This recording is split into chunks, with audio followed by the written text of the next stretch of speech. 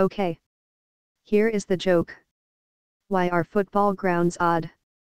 Because you can sit in the stands but can't stand in the sits. Ha ha.